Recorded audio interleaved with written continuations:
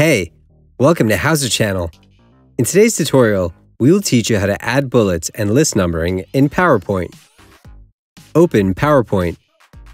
Select the text you need.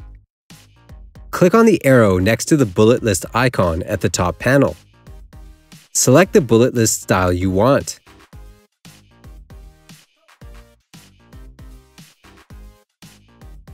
If you want to create a numbering list, select the text you need.